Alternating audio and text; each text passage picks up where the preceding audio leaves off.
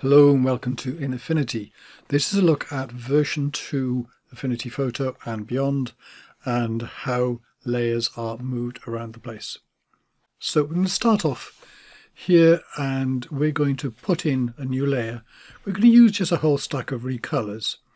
If I go just to recolor, it's going to put in this as a child, but I'm going to delete that because I want it to go above to go above, there's two ways of doing this. One is to, or you can, oh, well, three ways. You can go to the assistant here and change that, uh, add adjustment as new layer there. Or I can go to select and deselect layers, which I've given a keystroke of Alt D to in the preferences.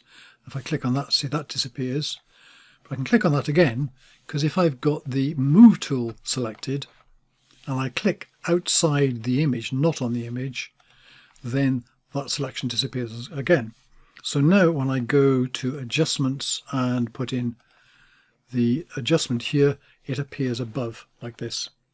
I'm going to put in four adjustments here, just slightly different, just so we can show how they move around. So I'm going to call this one red because it's red and hit Ctrl J to duplicate it, move that to blue call this blue. Then hit Control J. Call this green. I move this to green. And then hit Control J. And let's move that to magenta. And call that magenta.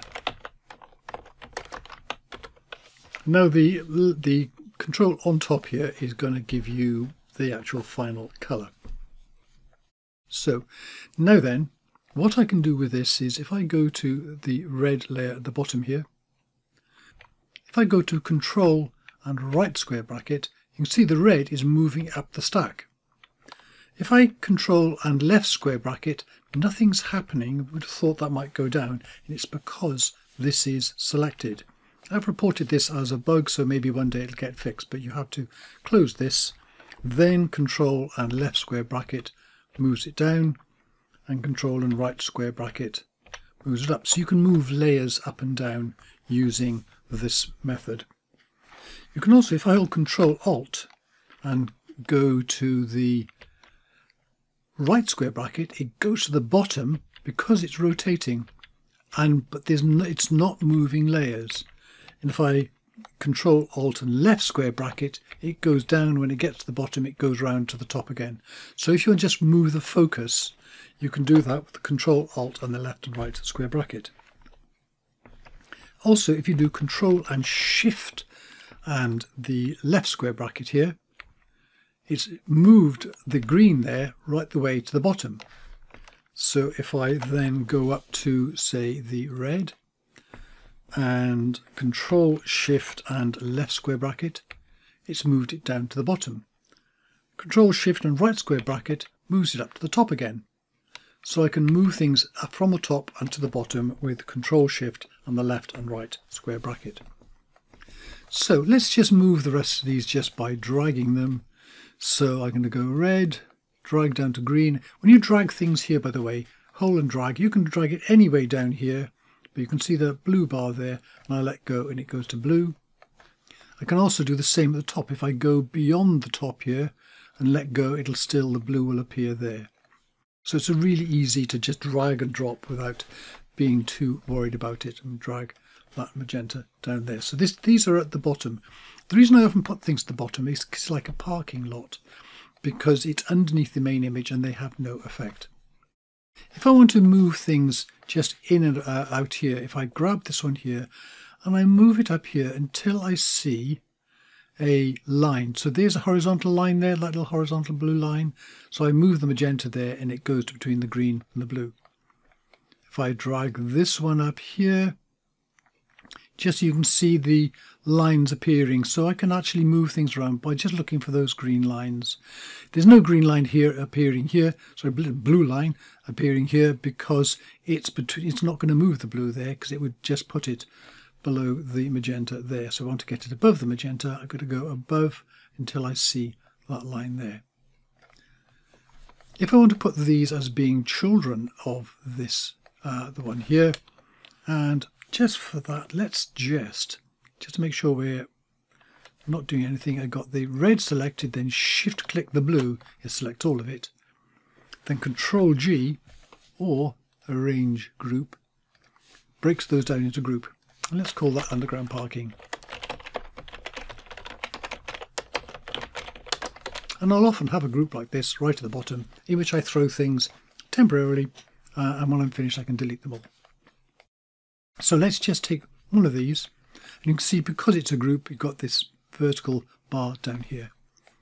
If I drag that up to the background there, if I go over the image and then let go, it appears here and you can see there's a grey bar underneath it.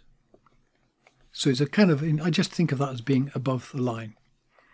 And if I take the green and I drag that up to over the name, that's going to appear below that line. So it's red and green here. It's still processed from the bottom upwards. So I can drag the magenta up over there and the, the over the icon and that's going to appear above the red so it now goes to magenta and the blue I can drag to being over the name or if I actually drag it over to the left the same thing will happen it's now going to appear above the green down here because over here or over the name in other words not over the icon it's going to go below the grey line but at the highest level of that then I can move things here if I want to take say the green if I drag this up to here Notice I've got two effects here. The green I can have a narrow blue, blue line or a broader blue line. If I go to the narrow blue line, it goes above the, the blue and it stays below the line. And if I drag the blue now up so I get the that broader line, then it's gone above the line there. You can get some things a little bit tricky. So if I click on the magenta here, so this is selected and it's also shown the background up here. Then if I drag something up here to try and get between the two, I've got three lots of blue going here. It's a bit tricky, but you can see it. So I drop that in there and that, there it is.